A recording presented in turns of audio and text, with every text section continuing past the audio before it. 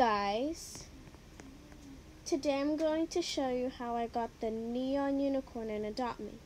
My first time getting the neon unicorn was around in August. Let's find out once you see in the video.